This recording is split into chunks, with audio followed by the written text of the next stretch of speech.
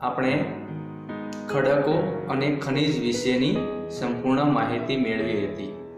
પરંતુ આ વિડીયોની અંદર આપણે જોઈએ તો તે છે જમીન અને તેનું વિતરણ. તો જમીન એ માનવ માટે ખૂબ જ ઉપયોગી સાબિત થતું સંસાધન છે. આ જમીન છે એ ખેતી માટેનું મૂળભૂત સંસાધન ગણવામાં આવે છે. અને આ જમીન છે તેની ઉપર માનવ અનેક પ્રકારની પ્રવૃત્તિઓ કરતો હોય છે. પરંતુ જમીન એ મોટા ભાગે પૃથ્વી સપાટીની અંદર જે જૈવિક અને અજૈવિક પરિબળો છે, તેના દ્વારા નિર્માણ પામે છે. જેમ સફરજન છે, તે સફરજનની છાલ સાથેનો જે સંબંધ છે, તેવો જ સંબંધ અહીંયા જમીન અને ખડક વચ્ચે જોવા મળે છે. આમ તો જમીન છે તે મોટા ભાગે પૃથ્વીના પોપડાના ઉપરના જે પાતળા સ્તર છે એ પાતળા સ્તરને આપણે જમીન તરીકે ઓળખી શકીએ.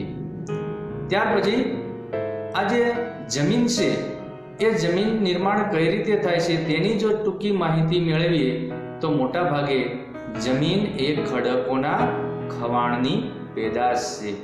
એટલે કે જેમ જેમ ખડકનું વિઘટન થતું જાય, તેમાંથી આ જમીન નિર્માણ પામેલી છે. આ ખડકો ઉપર એ લાંબા ગાળા સુધી એ તાપમાન, વરસાદ, વાયુ, હિમ કે વનસ્પતિ, જીવજંતુઓ જેવા અનેક પરિબળોની લાંબા ગાળા સુધી અસર થતી હોય છે અને તેના પરિણામે આ જમીન છે નિર્માણ પામે છે. પરંતુ આ જે જમીન છે, તે સંપૂર્ણ પ્રક્રિયા દ્વારા નિર્માણ પામી છે. તેની અંદર અનેક પરિબળો, અસર, રાસાયણિક અને જૈવિક પ્રક્રિયાઓ દ્વારા એ નિર્માણ પામે છે. એટલે એક આવરણ તૈયાર થાય છે, જેને ભૂમિ આવરણ તરીકે ઓળખવામાં આવે છે. આ ભૂમિ આવરણની અંદર સૌ પ્રથમ વખત એ ખડકોના નાના નાના ટુકડાઓ, નાના કંકણો પથ્થરો, માટી, રજ વગેરે જેવા પરિબળો જોવા મળે છે અને તેને કહેવામાં આવે છે રેગોલિથ. આ રેગોલિથ છે તેની અંદર સૌ પ્રથમ ખનિજ દ્રવ્યો જ હોય છે. પાછળથી તેમાં પાણી અને હવા જેવા પરિબળો ઉમેરાય અને એમાંથી પ્રક્રિયાઓ થતાં આ જમીન બને છે.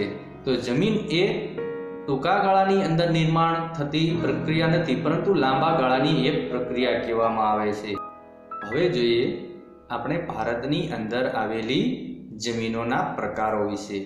તો ભારતની અંદર કાંપની જમીન, કાળી જમીન, પર્વતીય જમીન, રાતી જમીન, ત્યાર પછી લેટેરાઇટ જમીન અને છેલ્લી છે રણ પ્રકારની જમીન. આવા જુદા જુદા પ્રકારોની અંદર જમીનને વહેંચવામાં આવેલ છે. હવે આપણે એક પછી એક તેની માહિતી મેળવીએ. પહેલો પ્રકાર અને તે છે કાપની જમીન. કાપની જમીનના ફરી પાછા બે પેટા પ્રકાર પાડી શકાય. એક ખદ્દર જમીન અને બીજી છે બાંગર જમીન. મોટાભાગે નદીઓની આસપાસનો ખીણ પ્રદેશનો જે જમીન વિસ્તાર છે, ત્યાં દર વર્ષે નવો કાંપ પથરાય છે. આ જે નવો કાંપ પથરાય છે અને જે જમીન નિર્માણ થાય છે, તેને કહેવામાં આવે છે ખદર જમીન. જે મોટા ભાગે રેતાળ સ્વરૂપની અંદર જોવા મળે છે. અને બીજો છે બાંગર. તો આ બાંગર જમીન છે મોટા ભાગે જૂનો જે કાંપ પથરાયેલો છે, નદીઓના નિક્ષેપણને કારણે જે દર વર્ષે કાંપ પથરાયેલો સ્તર એક પછી એક બાજતો જાય છે અથવા સર્જાતો જાય છે, તેને કહેવામાં આવે છે બાંગર જમીન. ટૂંકમાં યાદ રાખવા માટે નવો કાંપ એટલે ખદર અને જૂનો કાંપ એટલે બાંગર જમીન. આ જે જમીન છે એ એકંદરે ખૂબ જ ફળદ્રુપ અને ઉપજાઉ જમીન કહેવામાં આવે છે. ભારતની અંદર આ જમીનો છે તે પંજાબ, આ ઉપરાંત ઉત્તર પ્રદેશ, બિહાર, પશ્ચિમ બંગાળ જેવા ઘણા બધા રાજ્યોની અંદર જોવા મળે છે. ત્યાર પછીનો બીજો પ્રકાર જોઈએ જમીનનો તો તે છે કાળી જમીન. કાળી જમીન તેને કપાસની જમીન તરીકે પણ ઓળખાવી શકાય. આ ઉપરાંત તેને રેગુર જમીનના નામથી પણ ઓળખવામાં આવે છે. કાળી જમીન છે.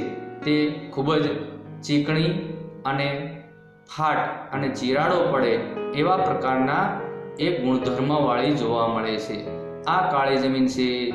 ખૂબ જ કસવાળી જોવા મળે છે અને નદીઓના દ્વીપકલ્પીય પ્રદેશની મહત્વની ભેટ ગણવામાં આવે છે અને આ જમીન છે તેની અંદર સૌથી સારામાં સારો પાક જો કોઈ લઈ શકાય તો તે છે કપાસ. અને આ કપાસ માટે ઉત્તમ પ્રકારની જમીન ગણાતી હોવાથી તેને કપાસની કાળી જમીન તરીકે પણ ઓળખવામાં આવે છે.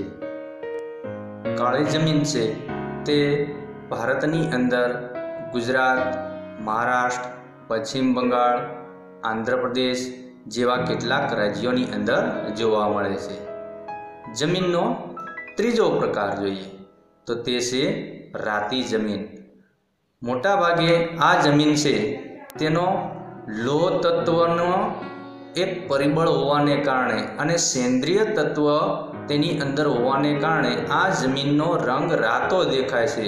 એટલા માટે આ જમીનને એ રાતી જમીનના નામથી ઓળખવામાં આવે છે. આ રાતી જમીન છે તે ભારતના જુદા જુદા રાજ્યોની અંદર જોવા મળે છે. જેમ કે ગુજરાત, મહારાષ્ટ્ર, ગોવા, કર્ણાટક, ઓડિશા, ઝારખંડ વગેરે જેવા રાજ્યોની અંદર રાતી જમીન આવેલી છે. પરંતુ આ રાતી જમીન છે તે ખૂબ જ છિદ્રાળુ અને ઉપજાઉ ગણવામાં આવે છે. જમીનનો ચોથો પ્રકાર લઈએ પડખાવ અથવા લેટેરાઇટ જમીન. પડખાવ એટલે પડ ખવાઈ જવું. ઉપરનું સેન્દ્રિય તત્વવાળું પડ ખૂબ જ વરસાદ પડવાને કારણે જ્યારે ખવાઈ જાય છે, એટલે કે જમીનના નીચેના સ્તરની અંદર ઉતરી જાય છે, ત્યારે તેને પડખાવ જમીન તરીકે ઓળખવામાં આવે છે.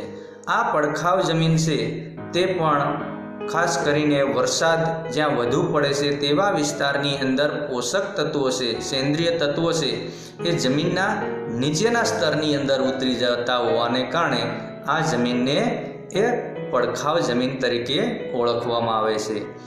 આ જમીનની અંદર પણ લોહ તત્વ અને એલ્યુમિનિયમ તત્વ જેવા હોવાને કારણે તેનો રંગ પણ રાતો જોવા મળે છે.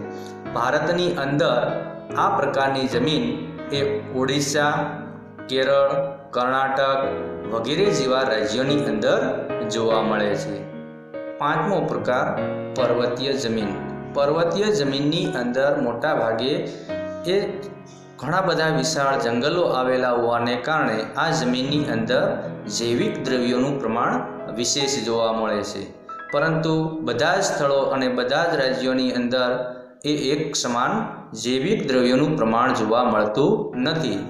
પરંતુ પર્વતીય વિસ્તારોની અંદર આ જમીન આવેલી હોવાને કારણે તે મોટા ભાગે એ ખૂબ ઓછા કસવાળી અને અપરિપક્વ જોવા મળે છે. સાથે સાથે આ જમીન છે તે છિદ્રાળુ, આ ઉપરાંત રેતાળ અને જૈવિક દ્રવ્યોના અભાવવાળી જોવા મળે છે. એટલે એમ કહી શકાય કે પર્વતીય વિસ્તારો જ્યાં આવેલા છે ત્યાં આ પ્રકારની જમીન જોવા મળે છે.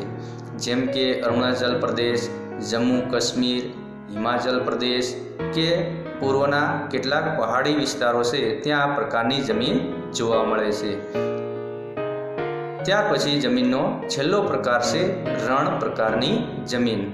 ભારતની અંદર આ પ્રકારની જમીન છે તે મોટા ભાગે રાજસ્થાન, ગુજરાતની અંદર, કચ્છની અંદર, પંજાબ અને હરિયાણા જેવા કેટલાક પ્રદેશોની અંદર આ પ્રકારની જમીન જોવા મળે છે. રણ પ્રકારની જમીનની અંદર ક્ષાર તત્વની અધિકતા અને ખાસ કરીને જૈવિક દ્રવ્યો છે તેની ઓછપ જોવા મળે છે. એટલે ખૂબ ઓછી ફળદ્રુપવાળી આ પ્રકારની જમીન જોવા મળે છે અને રણ પ્રકારની જમીનની અંદર ખૂબ ઓછા પાંદડાવાળા એ વૃક્ષો કે જંગલો જોવા મળે છે. તો એ છે ભારતની જમીનોના પ્રકારો.